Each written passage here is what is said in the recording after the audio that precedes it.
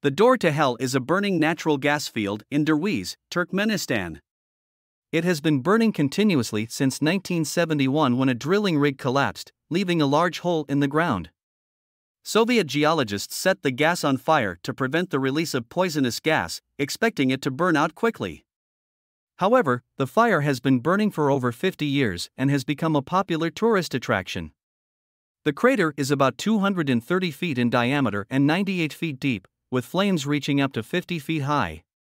Although the area is considered dangerous, it has not caused significant environmental damage and has actually reduced the release of harmful gases.